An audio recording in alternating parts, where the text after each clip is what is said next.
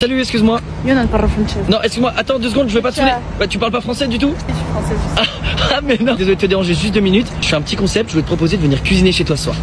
Mais t'es un grand malade, ça va pas ou quoi Non, non, non, mais c'est un truc que j'ai l'habitude de faire. Je peux même te faire des pâtes meilleures qu'en Italie si tu veux. Ça, ça m'étonnerait que tu cuisines mieux qu'en italien par contre. Euh, en tout cas, je peux essayer, je te promets que ça va être bon. Ok, si t'es pas fou, je... C'est vrai Non, promis, ok. Je suis yes. C'est quoi ce que t'as dans les mains là Dépêche-toi, je t'expliquerai après, mais il va pleuvoir là, ça va Ah, te gâter. ok, ok. Raga, bienvenue chez moi. Ah, grazie. Euh, tu peux juste poser tes chaussures s'il te plaît Ah, ouais, bien sûr. Ouais, Si tu veux, je te donne des chaussons euh, comme les miens. Oula. T'aimes bien Ouais, ça va. T'aimes bien mes chaussons Ouais, ouais, ouais, ils sont bien. C'est trop, mais c'est quoi tous ces tableaux C'est moi qui les peins. J'ai celui-là, j'ai celui-là, j'ai celui-là, et j'ai celui-là. Par contre, j'ai faim. Ah, euh, ouais, bien sûr, pardon, oui, je passe à la recette si tu veux. Si tu veux, j'ai tout pour te faire des pâtes. Parfait, bah c'est ce que je t'ai promis. Cuisine Si tu fais des pâtes comme un italien, je te fais une surprise. C'est vrai? Oui.